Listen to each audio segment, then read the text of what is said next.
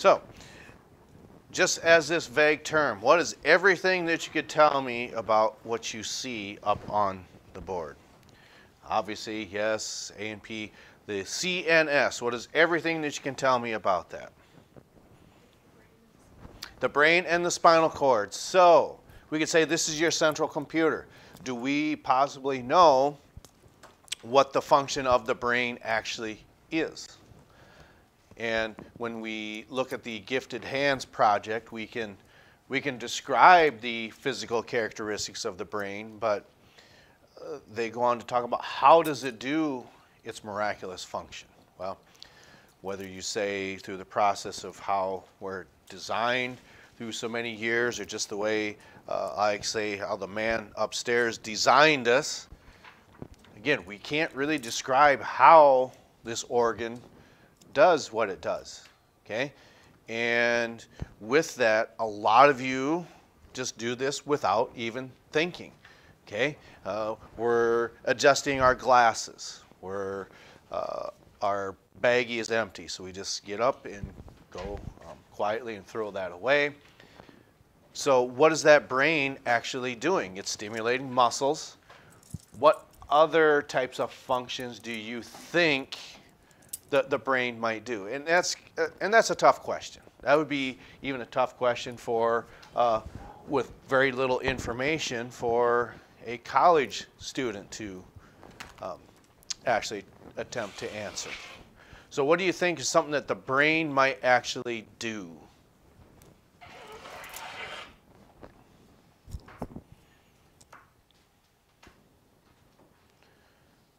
When, let's think of Hmm. Yeah, it, will tell your, body, tell your body how to respond to certain things, whether it's keeping you out of harm's way, or perhaps I think a, a, a good indication that you can relate to because you can visualize it is why are some three point shooters better than others? Why might that be? Yeah, you might practice that. And is it believed that muscles, I don't know how it does that. Does the brain store the information for the muscle, or does the muscle actually store the information? I don't know how to answer that. Okay? So, for those of you who do play basketball, how many of you like to shoot a three point shot? Well, how many basketball players do we have in here? See, they're all dinosaurs in here. Each and every one of them. Okay, that's you're not a dinosaur. Okay? What does that mean to you? Why did I say you're not a dinosaur like everyone else? Yeah, it's always like this. Is this, is this how they do in college too? I got a question. So if your teaching assistant or professor's in front, if you have a question, what do you do? Is it this? So, how many basketball players do we see out there?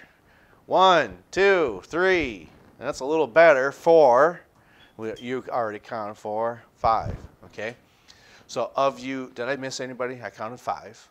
One, two, three, four, five. Who's the sixth one? Oh, over here, number six. So, of you six, how many of you like to shoot a three pointer? Okay. So, do you think that you are good at it? I, I, it's not a question whether we think you're good at it or anybody whether you think you're good at it. Don't know? Don't know or no? We'll find out when we get there, right?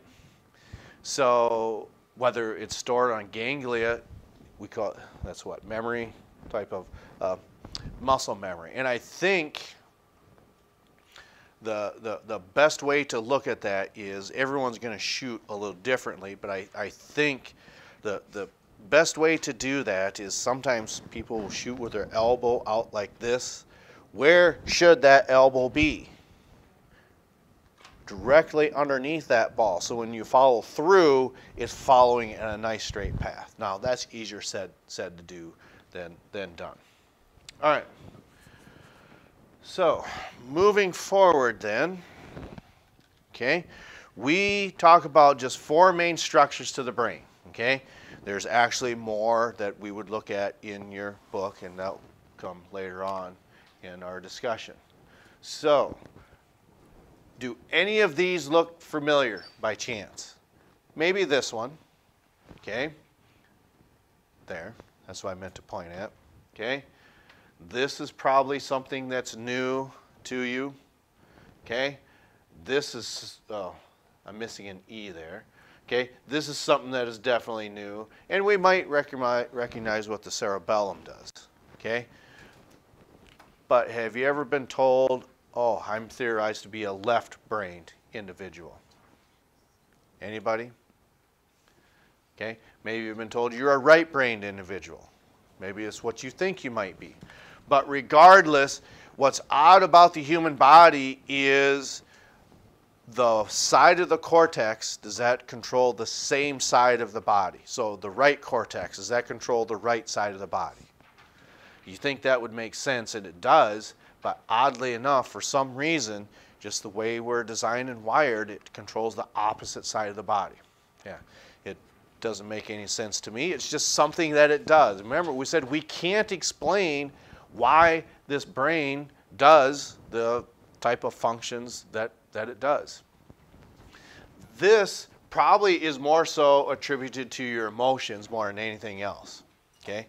Because later on, one of the things we're going to talk about is your four higher orders of operation that your brain does. One, it's your coordination. Two, it's how you speak with your language. Three, it's your emotions that you deal with. And num number four, it's whether it's a long or a short-term memory. Those are four of the specific functions that's on the back page that we'll get to later on, not today, but later on in the week perhaps. This deals with your emotions, your thalamus and your hypothalamus glands. So the anatomy of that with what you know with different types of vocabulary. The hypothalamus, would that be below the thalamus gland or above the thalamus gland in the brain? Lower? We hear above. Could it be below? So it's going to be one or the other. If someone is hyperglycemic, what would that mean to you? It means their blood sugar levels. Hyperglycemic, is that above or below a set level? It would certainly be above a set level that the brain monitors. So if someone is hypoglycemic, that would mean just the opposite, which would mean it's below the set level. So you can use that same type of logic hypothalamus and hypoglycemic would actually be below the thalamus gland. Okay, and we'll deal with that in um, chapter uh, 15, I believe, is the endocrine system. It's right on here. Oh, it should say chapter 11. From a different author, it used to be chapter, or excuse me, a different edition, same author, it used to be the uh, chapter 9, but in this case, it's actually chapter 11.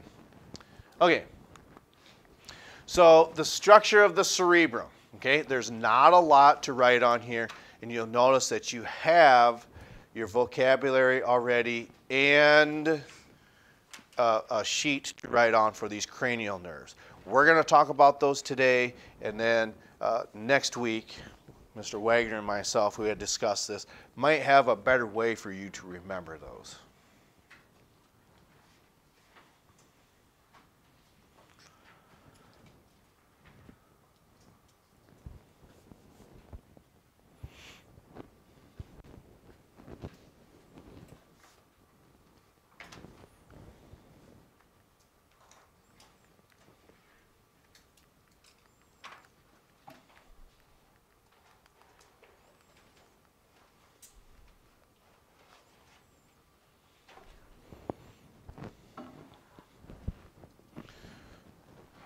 So, is gray matter myelinated or is it unmyelinated? Because you have gray matter and you have white matter. So what would you be led to believe? So the cerebral cortex is a thin layer of gray matter near the surface. So do you think it's myelinated or unmyelinated? It's unmyelinated, okay? Now, just because we say that really doesn't explain what it means. It's just more so a covering more than anything else because the white matter, as you can see, consists of myelinated axons. Because when something is myelinated, it's coated with what? Do we possibly remember from last chapter? Notice we're putting these together in a big unit. What is myelin?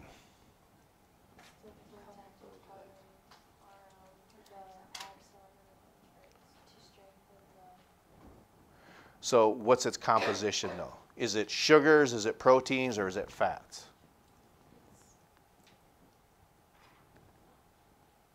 got a 33% chance. It's fats. That's right. It's type of fat tissue that actually coats that. If I, because three of you start talking at the same time, which is fine, and I think we associated it's something that coats your axons and makes it bigger. Okay, so if that axon grows in size, why is that important? There's more fat tissue put on that axon, and that's important for what reason? You could say strengthens the impulse. Yeah. When we say strengthens the impulse, it just makes it more more efficient then. So which would make sense if we're communicating with other body parts, we want that conduction to be as smooth and as quick as possible. And that's why then white the white matter is myelinated and the gray matter is just just that. It's just a gray type of tissue that does a coating around the structure. It also happens on the spinal cord. You have gray matter on the outside, and the white matter is further inside that's coated with myelin. Okay? And do we remember the three parts of the spinal cord there? You have a, a pia mater, an arachnoid membrane, and a dura mater. Is which one's on the outside? The dura mater's on the outside. What would be in the middle? Think spider, arachnoid membrane, and then the pia mater is actually on the inside. Okay. Okay.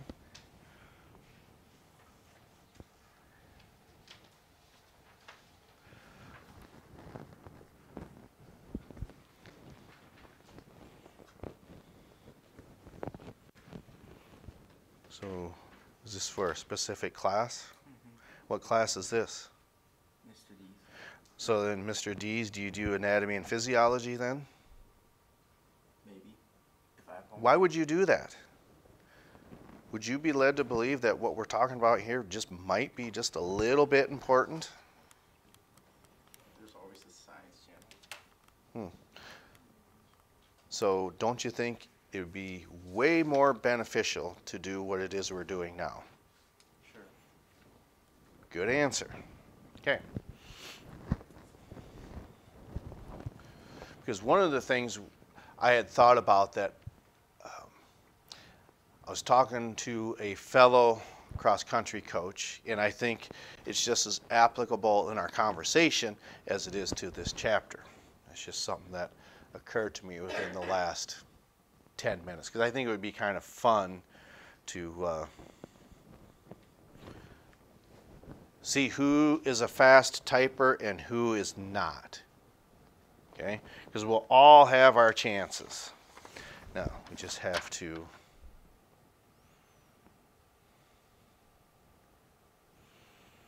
Hmm.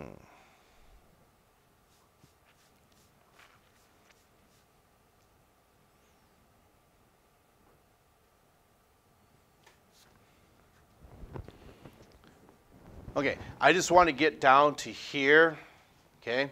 So what might be a type of intellectual function? Well, could be memory, okay, whether it's long or short term, because when you hear what it is that we have for dinner, we had heard spaghetti and we heard French toast. I just happen to remember that from the announcements. If you can remember that from earlier on, there's really no uh, clear-cut definition on the length of what your memory is, but if it's probably the same day, that's probably short-term. So long-term memory then, and our phones are not doing us a very good service for this. Okay? So, for instance, who are two people that we can pick on in here? Here's one. Okay? So, look around amongst here. Who might you have a phone number for? Okay? So, if you had to pick up somebody else's phone, whether it's Mr. Wagner's or myself, could you call Sutton? No. Why not? You don't know his phone number? Well, you just said you'd call him. How is it that you're going to call him? So, is it possible that smartphones aren't making us smarter? Because it used to be, believe it or not, if you wanted to call someone, you just didn't pick up a phone and look at the contacts and just even speak into your phone and just say, what, dial Sutton, call Sutton? Is that all you have to do with a smartphone? Okay. So you wouldn't dial 1605, uh, don't tell me, 335 3534. Who are we calling?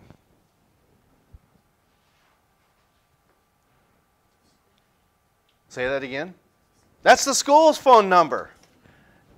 Nobody recognize that other than over here? okay. But he never answers the phone. Oh, okay. He'll just text you, what do you need? Okay. So then on so we picked on the guys. So who would you call?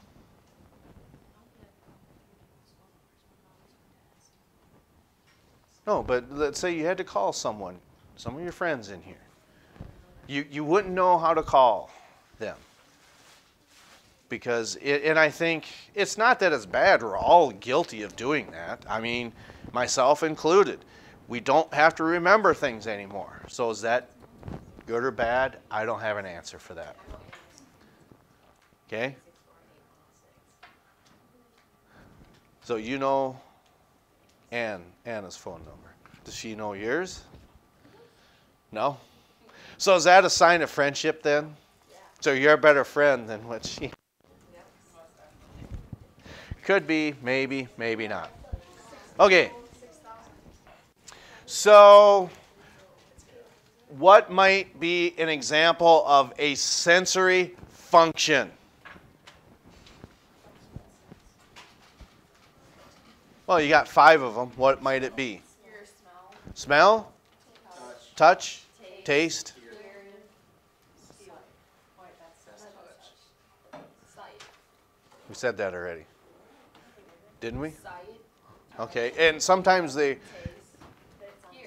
Okay, so so that's five. Some of them take more, uh, let's say, neurons than others because we have special senses and we have general senses. That's broken down later on in in your uh, textbook, and we'll talk about that at a at a later time. But one of the things that I want to do for now.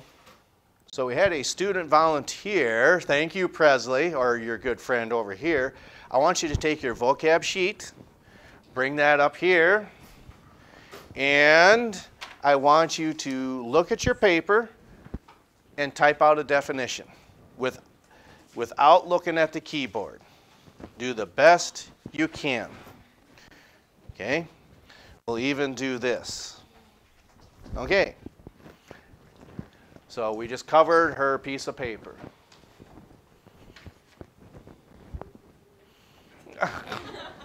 Well, don't look at the underneath the paper.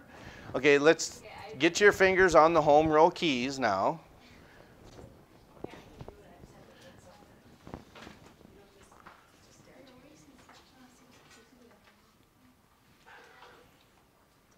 just keep right on going. Don't even if it's if it's a mistake, that don't worry about it. Do I do another one? Do another one. That one was short.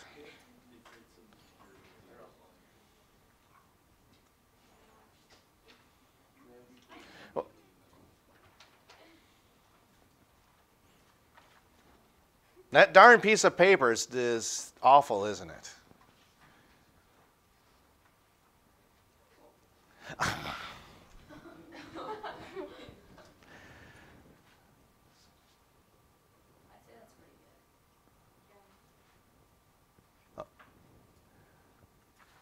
good. Have you had to do this in a typing class here? It, uh, you covered up your hands and you had to type? Okay, so you get to look around. Who do you want to pick on? Okay, grab your vocab sheet. and Come on up here.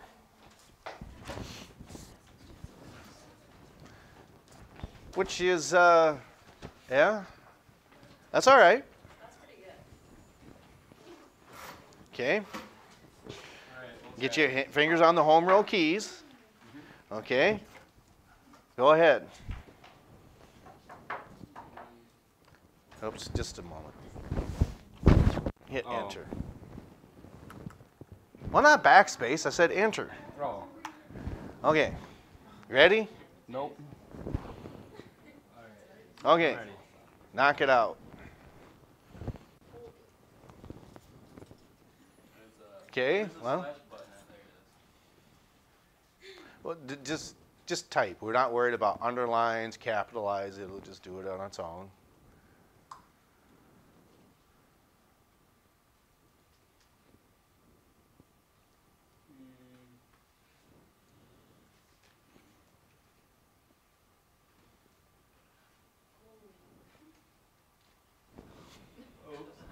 Keep going. Keep going.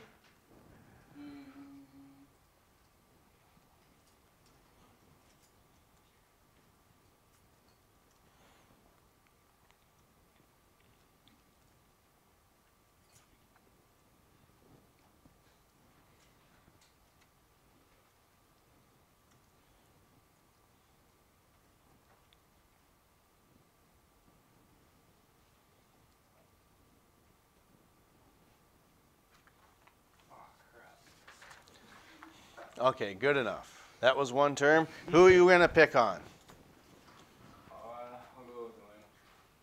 Okay? Bring your vocab sheet. So you're not doing dura or spinal and fissure. Okay? Find the home row keys. Okay. Knock it out.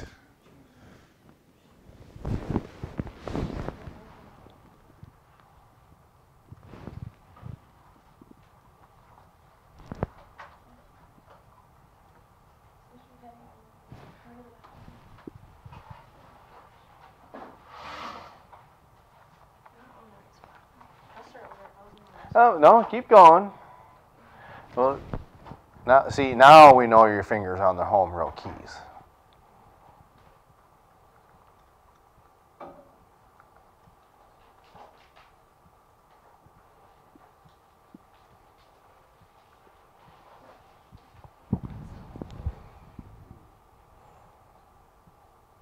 Does it? Okay, go ahead and hit enter. Do you want to pick? That's good. Do you want to pick on anybody else? So, what about if you have to type and listen at the same time?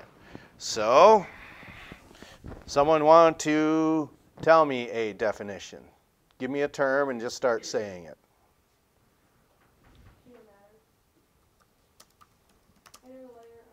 Oops, I hit enter. I didn't mean to do that. Okay?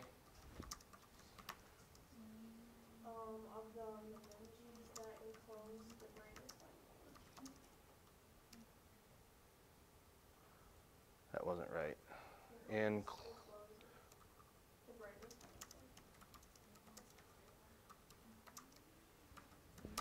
How did we do? Well, not terrible. Was autocorrect doing some of that? Okay, we can do better. One more.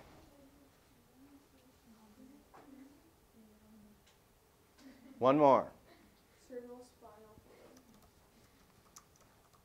Oops, I didn't do that right, did I? Found in the ventricles of the brain and central canal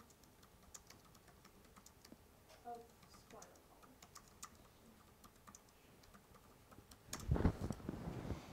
Okay? So the point behind this is, is you have these general and special senses. So of those, typing, what would you guess that is? Is that a general or a special sense? You, and you haven't been taught that yet, so don't feel bad if you get it wrong. It's not a special sense. It's a general one because it's dealing with muscular action. It's when we deal with special senses like sight and hearing, is where those are what we would consider your uh, special senses. So then the last thing that we want to do is, uh, say, work on uh, my white remote. Work on your cranial nerves. And you can decipher whether it's one, if this works for you. It, it just gets to be a point where I don't use these sayings anymore. So you have to let me know one, two, three, four, five, six, seven, eight, nine, ten, eleven, twelve. Okay? So what do we got? Olfactory. So then we got optic.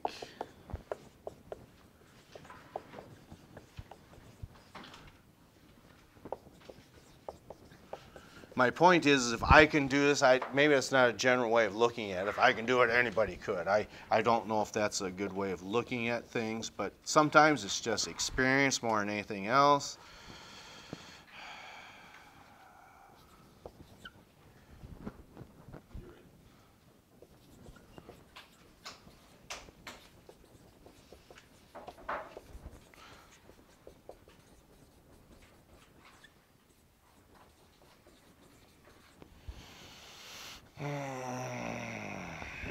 See, then this is one of the things I like to do. I, I know that one's number 10. Let's see here. And I know this one, accessory. And then I think this is hypoglossal, which means this one's glossopharyngeal.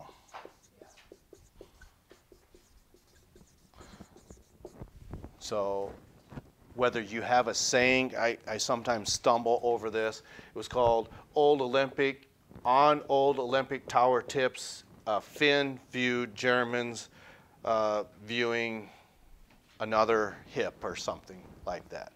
Okay, but now I just associate some of these. The first five are pretty simple for me, even the first seven. Uh, I know that this one's the eighth. I know the vagus is the tenth. So sometimes when you break them up into categories, it's easier to fill in the gaps. Okay. So again, that same uh, uh, reasoning or that paper or those blanks are on the back side of your uh, handout. We didn't get to the book today like I thought we would. And then what page is that? Five something? 420, oh, it tells you that. I wasn't sure whether that was the right page number. 427 is where you find these cranial nerves. Even though they attach to the brain, 423? Okay. Even though they attach to the brain, these are part of the peripheral nervous system. You might say, well, if it's in, attaching to the brain, that's got to be central nervous system. No, it's part of the peripheral nervous system. Okay, we'll get more into some of their functions uh, later on. So that's all we have. We'll catch up to you next time.